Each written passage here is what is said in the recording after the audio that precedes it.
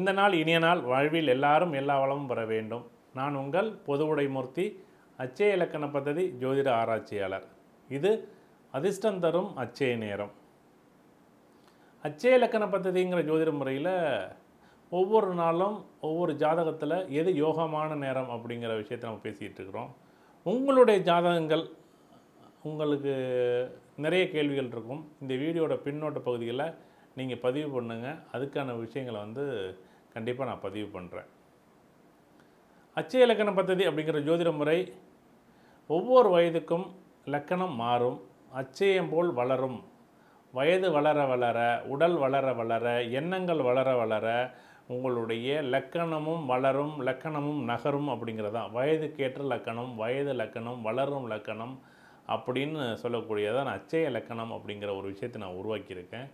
ஏன் இதை நான் உருவாக்கினேன் அப்படின்னா ஒவ்வொரு குறிப்பிட்ட காலத்துக்கும் உடல் வளர்ச்சி பெறுது தளர்ச்சி பெறுது மாற்றம் பெறுது யோகத்தை பெறுது அவயோகத்தை பெறுது. அப்போ குறுகிய காலத்தில் நடக்கக்கூடிய செயல்களுக்கு ஏதோ ஒரு வகையான உடலில் வந்து மாற்றம் வரும்போது ஏன் லக்கணத்தில் மாற்றம் வரக்கூடாது அப்படிங்கிற எண்ணம் என் வாழ்க்கையில் தோன்ற ஆரம்பித்தது தான் இந்த ஆய்வு.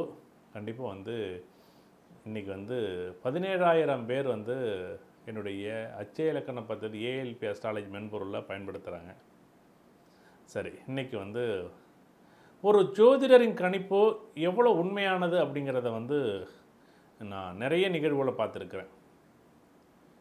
என்னிடம் வரக்கூடிய ஒரு பெண் வந்து என்னுடைய ஜாதகத்தில் என்னுடைய வரக்கூடிய மாமியாருக்கு தோஷம் இருக்கிறது அப்படின்னு சொல்லி என்னுடைய வேண்டாம் அப்படின்னு வந்து அந்த பெண் வந்து அழுகிறாங்க. எனக்கு ஒரு ஆச்சரியம். என்னடா அது? இந்த காலத்தில் அந்த பெண் வந்து சென்னை சேர்ந்தவங்க. பையனுடைய அதான் மணமகன் வந்து கோயம்புத்தூரை சார்ந்தவர். ஒரு கோயம்புத்தூரில் ஒரு ஜோதிடர்கிட்ட போய் கேட்கும்போது இந்த காலகட்டத்திலே இந்த காலகட்டங்கள் வரையும் மாமியாருக்கு எதிர்பார்த்த யோகங்கள் கிடையாது இந்த பெண் மூலமாக அப்படின்னு சொல்லிட்டாங்க. அதற்காக வேண்டாம் அப்படின்னு சொல்லியிருக்காங்க. அப்படியா? சரி ரொம்ப சந்தோஷம். அந்த பெண் வந்து என்னுடைய ஜாதகத்தில் அப்படி அமைப்பு இருக்கா? அப்படின்னு கேட்டாங்க. கண்டிப்பாக அப்படி ஒரு அமைப்பு இருக்குமா? ஆனால் அதே பையன் வருவதற்கோ அந்த பையன் வந்து உங்களுடைய வாழ்க்கையில் வந்து தொடர்வதற்கு ஒரு வாய்ப்பு உண்டு. மறுபடியும் வருவாங்க அப்படின்னு நான் சொல்கிறேன்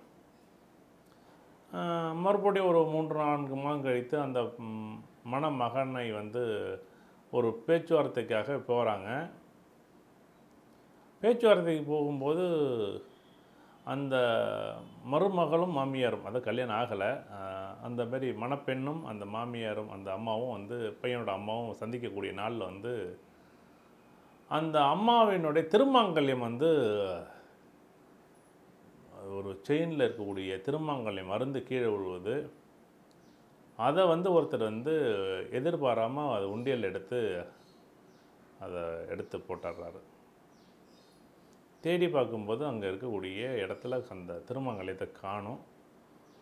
அந்த பெண் வந்து பார்த்த நேரத்தில் அந்த பையனோட அம்மாவுடைய திருமங்கல்யம் வந்து அருந்து வந்து மிகப்பெரிய அளவில் ஒரு சங்கடத்தை ஏற்படுத்திடுச்சு.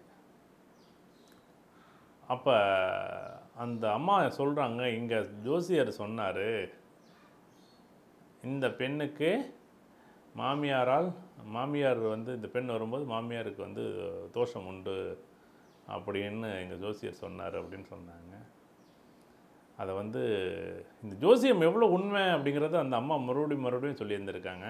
இந்த பெண் வந்து அந்த இடத்துலேருந்து வந்து திருமணத்தை வந்து வேண்டாம் அப்படின்னு சொல்லி இது பண்ணிட்டாங்க. இது ஏன் நான் இந்த நேரத்தில் சொல்கிறேன் அப்படின்னா அவ்வளோ முக்கியமாக ஒருவருடைய மன வாழ்க்கையை பிறப்பு முதல் அந்த இருபத்தி மூணு இருபத்தஞ்சோ இருபத்தேழு வயது வரைக்கும் பார்த்து பார்த்து வளர்க்கக்கூடிய ஒரு பெண்ணையோ ம- பையனையோ இன்னொரு நபருக்கு அதை வந்து கொடுக்கும்போது இந்த ஜாதகம் அவ்வளோ முக்கியத்துவம் பார்க்கப்படுகிறது குடும்ப சூழ்நிலை பார்க்கப்படுகிறது. ஏன் அப்படின்னா ஒரு பெண் வந்து வீட்டுக்கு வருவதோர் மகாலட்சுமி வந்துச்சு அப்படின்னு சொல்லுவாங்கள்ல அந்த மாரி யோகமான ஒரு அமைப்பு பெண் மூலமாக வாய்ப்புண்டு. நீ கல்யாணத்தை பண்ணி அவன் வாழ்க்கை மாறும் அப்படின்னு நான் நிறைய டைம் வந்து நிறைய நண்பர்களுக்கு சொல்லும்போது வாழ்க்கையில் வந்து ஒரு பெண் மூலமாக ஒரு மாற்றத்தை கொடுக்க முடியும் அப்படிங்கிற ஒரு நம்பிக்கையில் தான் சொல்லுவோம். அதே மேலே அந்த பெண் வந்து மறுபடியும் என்கிட்ட வந்தாங்க. அது மூன்று மாதம் கழித்து மறுபடியும் அந்த மகன் அந்த மகன் அந்த பையன் வந்து அம்மாவை அழைச்சிக்கிட்டு மறுபடியும் வருவாங்க. புரிதல் வரும். ஏன்னா தோஷ நிவர்த்தி ஆகிவிட்டது. எப்படி? அந்த திருமாங்கல்யம் கயண்டு விழுந்தது தோஷ நிவர்த்தி அப்படின்னு எடுத்துக்கிட்டு அவங்க வருவாங்க புரிதல் ஏற்படும் உங்களை கேத்துக்குவாங்க அதே பையன் அதே பெண் கல்யாணம் நடக்கும் அப்படின்னு சொல்லியிருந்தேன். அதே போல் நடந்துச்சு. இதை ஏன் நான் இந்த நேரத்தில் சொல்கிறேன் அப்படின்னா இந்த ஜோதிடத்தின் இந்த ஜோதிடரின் முக்கியத்துவம் அப்போ யாருன்னு எனக்கு தெரியலை அவர் அவரோட பேர் கூட எனக்கு தெரியாது. அப்போ எவ்வளோ அழகாக ஒரு குறிப்பிடக்கூடிய எண்ணங்கள் இருக்கக்கூடிய ஜோதிடர்கள் இருக்கக்கூடிய இடத்துல நம்ம இருக்கிறோம். அப்போ அதேமாரி கல்யாணம் ஆனப்போ நான் சொன்னது சரியான இருந்துச்சு. பிப்ரவரி மாதம் கண்டிப்பாக அதை பற்றியான நிகழ்வுகள் நடக்கும் அப்படின்னு நான் சொல்லியிருந்தேன். அதே மேலே வந்து பேச்சுவார்த்தைகள் நடந்து முடிஞ்சு நல்லபடியாக ஒரு திருமண வாழ்க்கை அமையுது. அப்போ தான் அந்த ஜோதிடத்தோட சந்தோஷமான ஒரு நிகழ்வுகளை நம்ம குறிப்பிட முடியும்.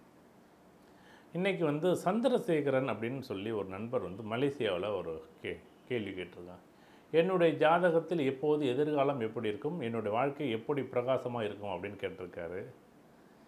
பத்து வருஷத்துக்கு முன்னாடி இந்த ஜே நபர் வந்து என்கிட்ட கேள்வி கேட்டிருந்தாருன்னா லக்கணம் வந்து ரிஷப லக்கணம் இன்றைய லக்கணம் வந்து துலா லக்கணம் துலா லக்கணம் ரெண்டாயிரத்தி இருபத்தொன்று ஒன்பதாவது மாதம் முடியுது.